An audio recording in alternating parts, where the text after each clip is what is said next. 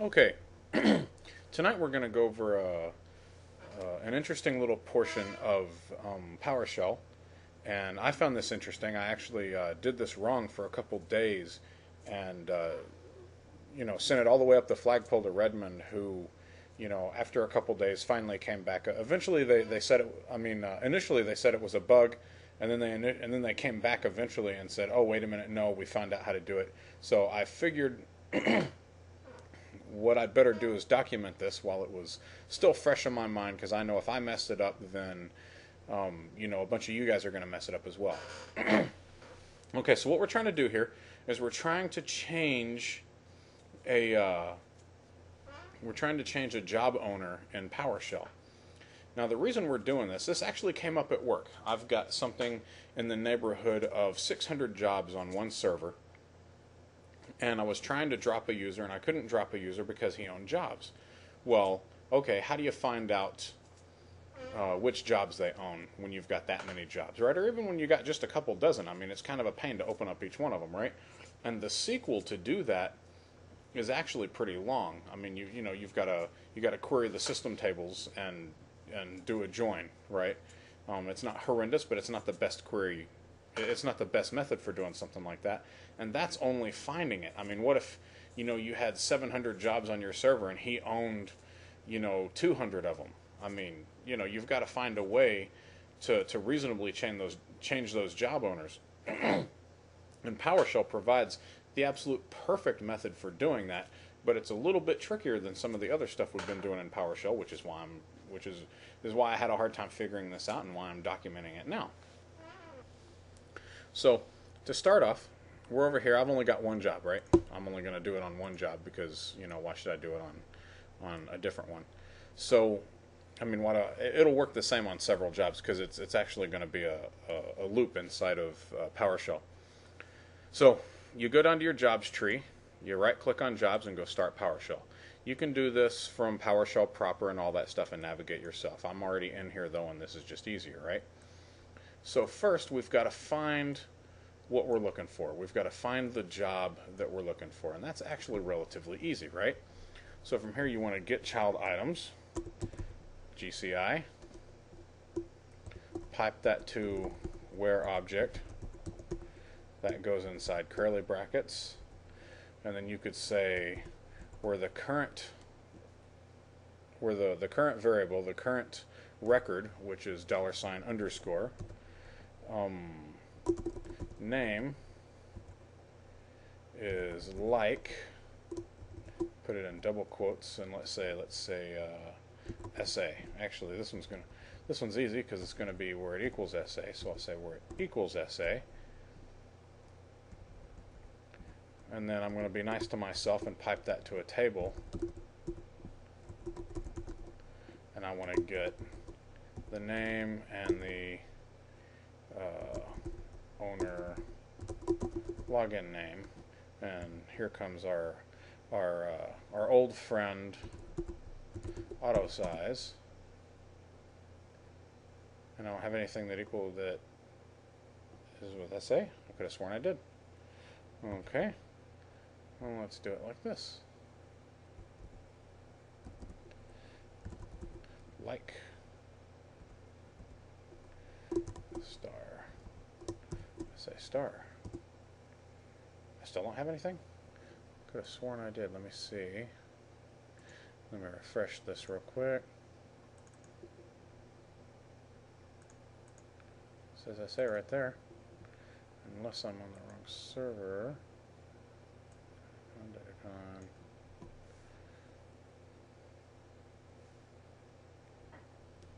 Okay, I see what the problem is. I'm an idiot. Let's clear the screen here. There we go. Okay, look at this. I'm an idiot. This is why I love live demos, huh? Not name, where our login name, I'll just say get rid of that, get rid of that. There we go. God, it's amazing what you can find when you're searching on the right property, isn't it? Okay, So I've got two jobs here that are owned by SA, and I want to change. I'm going to change them both. Why not, right? I'll change them both back later. so what I need to do is I need to say get child object, and I'm going to pipe it to the where again. Actually, I've already got all that, don't I? There we go. So let's just kill all this stuff. There. Okay. So I've already got the bulk of that. I'm gonna I'm gonna get my object my object, and I'm gonna filter where the owner login name equals SA. and of course, if you were looking for, you know, you know Joe Blow, you would filter on Joe Blow, right? You would filter on whatever you on whatever you found. Okay. So now that I got that, um,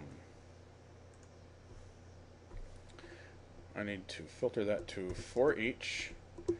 Put in my curly brackets again.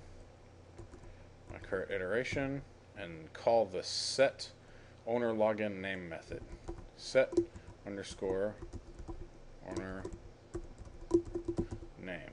It goes in parentheses, has two quotes, and let's set it to to my domain account. So, and again, this method isn't case sensitive. I just do that to make it easier to read. So what we've got here We're going to find a child object. We're going to filter. We're going to pipe that to a filter that says only get the ones that have an owner login name of SA. So only the jobs that are owned by SA. And we're going to pipe that to a for each loop. This is uh, the percent is uh, an alias for for each. So for each one of those, I'm going to take the current record and I'm going to call its set owner login name method and I'm going to set it and I'm going to pass it in the name of the new login that I want it to have that in mind, I hit enter. Ah, I'm always glad when I don't get red. So with that, I should be able to come in and see my new record. Yeah.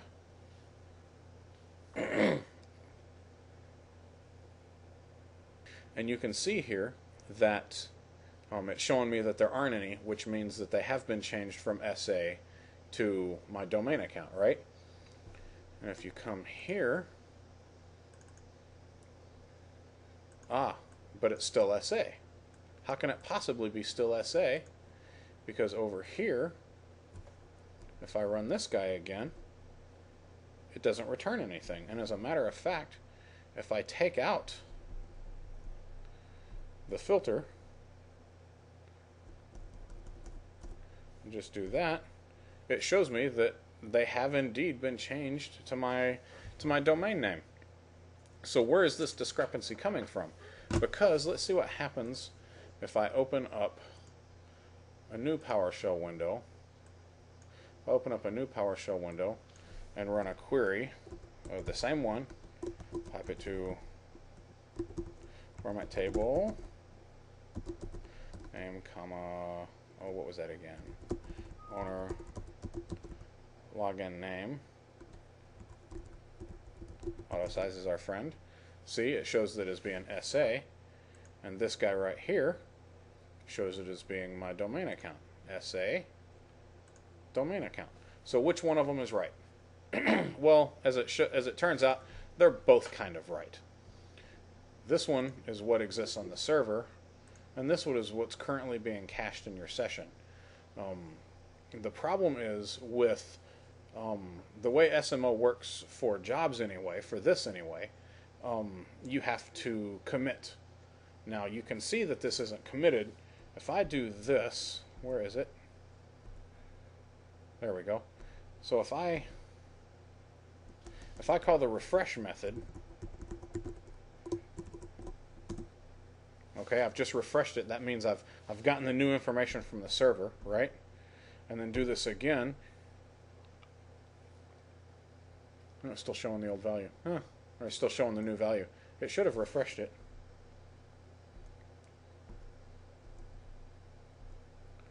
Refresh. Oh, again, it still thinks that that's SA because it's still reading off the cache version. So if I call the refresh method for all the jobs and then get that, see, there you go. It goes back to SA, right? Boy, one mystery after another, isn't it? So, the question is, how do we get this to actually refresh on the server, to actually persist on the server? As it turns out, there's one extra step than there is in a lot and a lot of the other things you're going to do in PowerShell. You have to actually you have to manually commit it, and unfortunately, it's not called commit. Um, let's run the line again. There we go. We're going to set the owner equal to that. Now we're going to call um, instead of that, we're going to call the alter method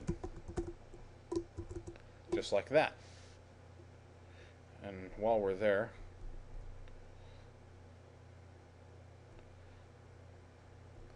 I want to go ahead and kill this real quick. there we go.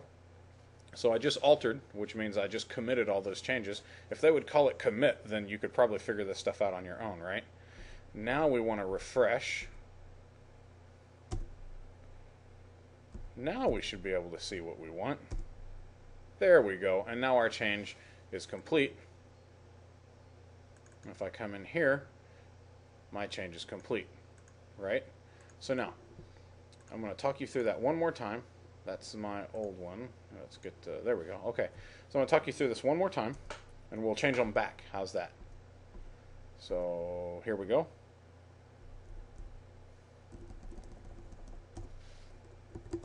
Okay, so talking you through this one more time. You get the child object, you pipe that to a filter, to the where object filter, where the owner login name equals SA, equals whatever you're looking for, right? Pipe that to a for each, and then for each one of those, you call the set owner login name, pass it the new login name that you want it to have. Okay? So I did that. Actually,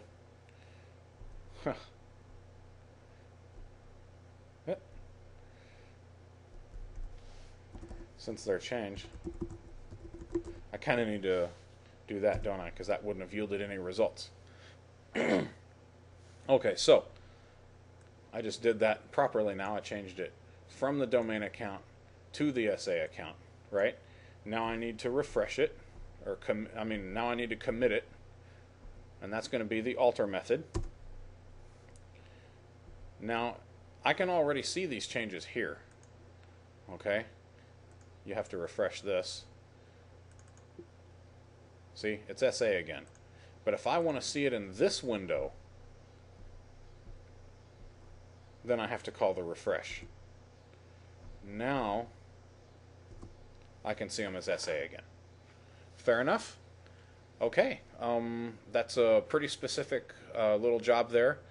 I mean, that's a that's a pretty specific task, but that's what Midnight DBA is all about. I want to give you you know one specific task and then move on. So um, good luck with that, and I hope you have fun changing jobs. And by the way, I'm sure I'm I'm sure you uh, you have to do this if you want to change job names or anything else like that too. I would I would assume that anything you have to do with jobs is also going to take this this alter method to commit.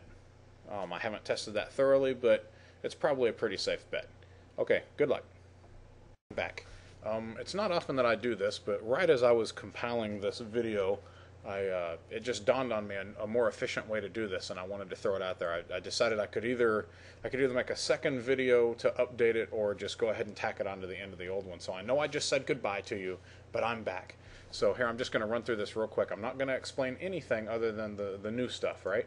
So I'm coming here to PowerShell, and I'm going to change my object again. Uh, what was I doing? Do you see I pipe it to where object, do these guys here, um, generation, uh, name equals, I actually don't know what it is now. So let me refresh this. What is it now? It's SA? Okay, if you say so. Or it's SA.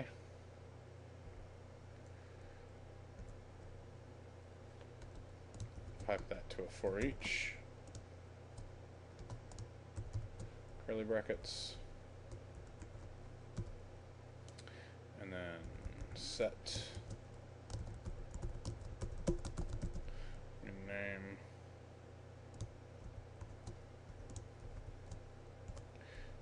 to there. So that's what we've got right now, right? That's what we that's what we started with originally. That's the original syntax. Now let's make sure once and for all that let me refresh this one more time. I just want to make sure I'm doing this right. Okay, so that is SA. And this one is looking for SA and it's changing it to that. Okay, so just a minute ago we called the refresh we we we changed we called the set method then we called the refer, the alter, then we called the refresh, right? We can do this all in one statement. If I just use a statement terminator here, and then say there dot alter, another statement terminator, and say there, oops, there dot refresh, and make sure I got that alter right.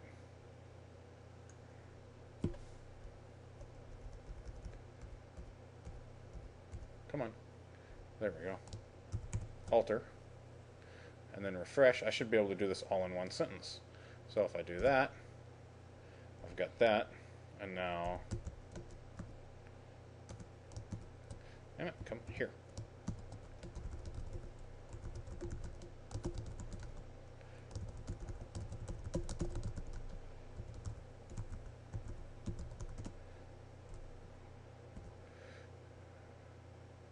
Oh, auto size.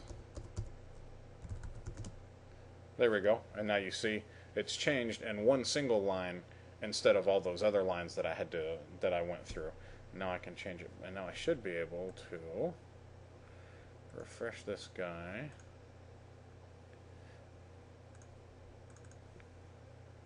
And there's my new there's my new name. And one more time we'll change it back. Come here. There we go.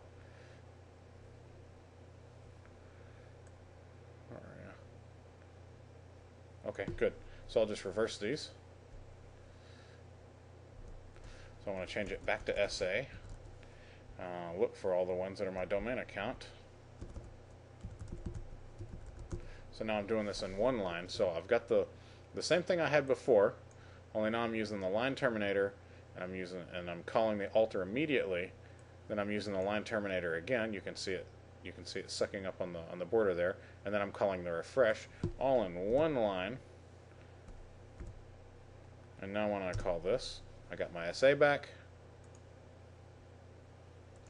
And I better refresh this one. And I got my SA back. Okay, so there you go. I just wanted to show you that I, I stepped away for a minute and started thinking about it, and I was like, wait a minute, there's there's a more efficient way to do this. So rather than make another video, I just want to tack that onto the end of this one. There you go. I'm done now.